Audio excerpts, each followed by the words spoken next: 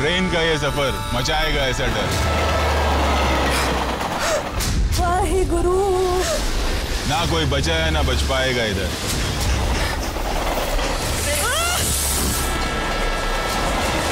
Wahe Guru.